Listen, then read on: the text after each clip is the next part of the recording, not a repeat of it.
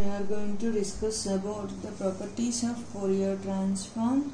Before going to discuss the properties, first keep the definitions of Fourier transform, Fourier sine transform and Fourier cosine transform in mind. Fourier transform for the function f of x is denoted by capital F of f of x. How to read this means Fourier transform of f of x equal to integral minus infinity to infinity e power isx f of x dx. It is also denoted with the symbol capital F of x. It is a Fourier transform to the function f of x. Now Fourier sine transform means capital F of f of x in particular sine. So Fourier sine transform of f of x is defined as integral 0 to infinity sine sx f of x dx. It is also denoted with Fourier sine transform of the function f of x that is capital Fs of s. Now Fourier cosine transform to the function f of x equal to 0 to infinity cos sx f of x dx. Fourier cosine transform. Keep these three definitions in mind. Now we start doing the properties. The first property is already we studied Laplace transforms. There we studied properties linear property, change of scale property, shifting property, derivative properties like that. Here also we have properties to the Fourier transform. So linear property means if Fourier transform of the function f of x equal to capital F of x and Fourier transform to the function g of x equal to g of s then Fourier transform of a into f of x plus b into g of x equal to capital A sorry a into Fourier transform of the function f of x plus b into Fourier transform of the function g of x. We denote this with capital F of x, b into this as g of x. So, if for f of x and g of x Fourier transforms exist, then we have to show Fourier transform of a f of x plus b g of x equal to a into Fourier transform of the function f of x plus b into Fourier transform of function g of x.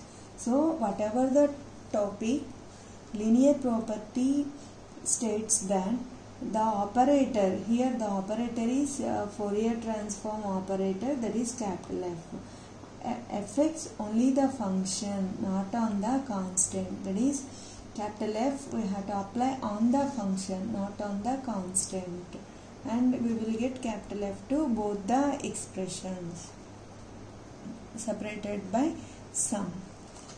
Proof to this one is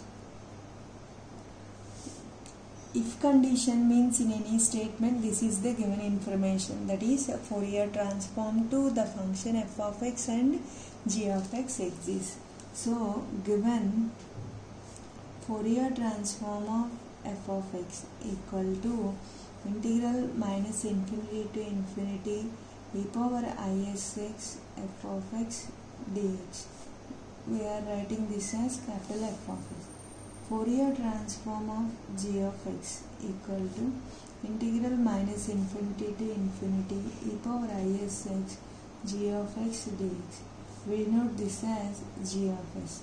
We have to prove Fourier transform of this equivalent to RHS part. So consider LHS part that is Fourier transform of AF of x plus BG of x equal to integral minus infinity to infinity e power isx under the function you have a f of x plus b g of x dx it is equal to here operator is integral operator. Integral operator also satisfies linear property. So according to the linear property of integral operator, we will get e power isx a f of x a constant. So we write down outside of the integral plus b integral minus infinity to infinity e power isx it is equal to a into integral from this one denoted as f of s plus b into this is denoted as g of s this is linear property f of a f of x plus b into g of x. The second property is change of scale property.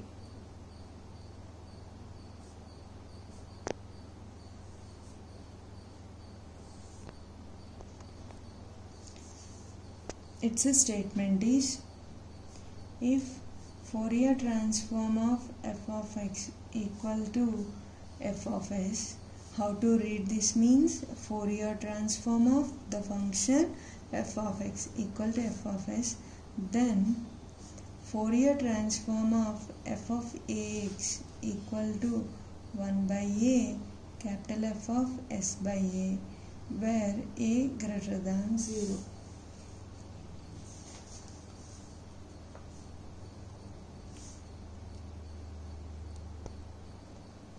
Here the given information is Fourier transform of f of x is given as f of s. We have to get Fourier transform of f of ax equal to 1 by a f of s by a. So given that Fourier transform of f of x equal to integral minus infinity to infinity e power isx f of x dx it is also denoted with f of s. Now consider Fourier transform of f of ax equal to integral minus infinity to infinity e power isx in place of the function f of ax dx. To evaluate this integral, take the substitution. That is, put ax equal to t from this x equal to t by a. On differentiation dx equal to 1 by a dt. Here integration with respect to x given x limits are from minus infinity to infinity. So when x equal to minus infinity we will get t becomes minus infinity when x is infinity you will get t infinity. So limits doesn't alter. Minus infinity to infinity e power i is x means here t by a. F of ax ax means t. dx means 1 by a dt. It is equal to 1 by a integral minus infinity to infinity e power i s by a t f of t dt. Once compare this integral with the basic definition. Limits infinity to infinity e power isx f of x dx is denoted as capital F of s depending upon this x f of x dx t f of t dt limits minus infinity to infinity. So this integral is denoted as capital F of S by A and 1 by A capital F of S by A. Therefore, capital F of Fourier transform of F of Ax equal to 1 by A capital F of S by A. Third property is shifting property. Its a statement is if Fourier transform of the function f of x exists, that is capital F of s, then Fourier transform of f of x minus a equal to e power i s a f of s.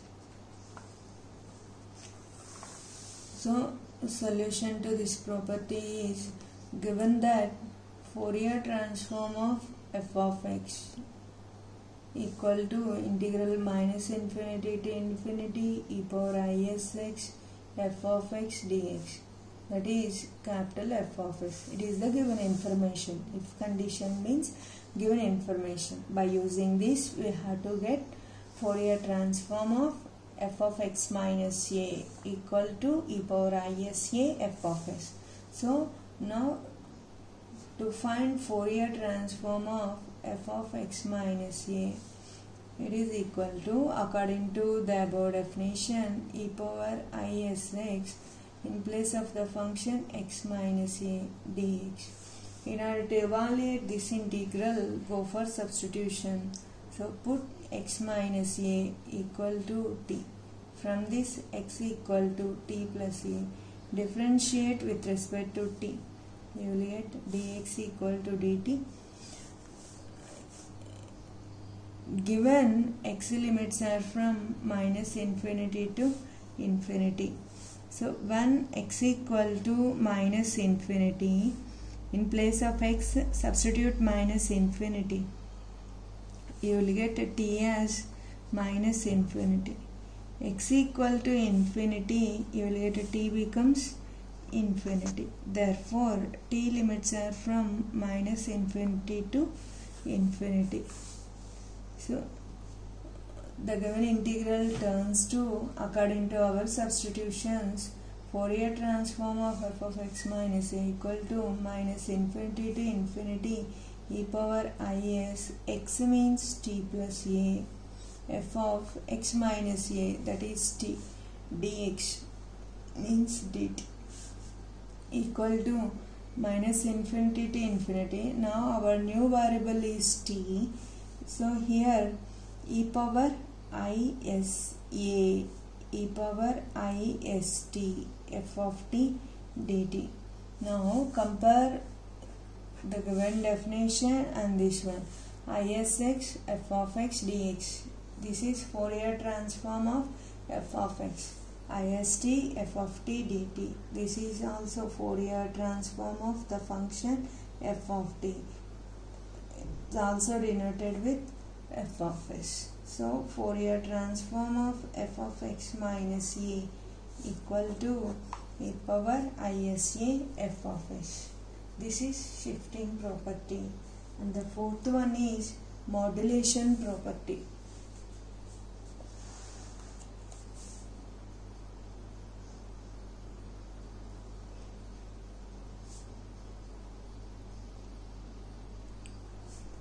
Modulation property statement is given by if Fourier transform of the function f of x equal to f of s then Fourier transform of f of x cos ax equal to half of f of s plus a plus f of s minus a. Its solution is given that Fourier transform of f of x equal to integral minus infinity to infinity e power isx f of x dx. We denote this as f of s we have to prove Fourier transform of f of x cos ax equal to half of f of s plus a plus f of s minus a. So consider the left part. Consider Fourier transform of f of x cos ax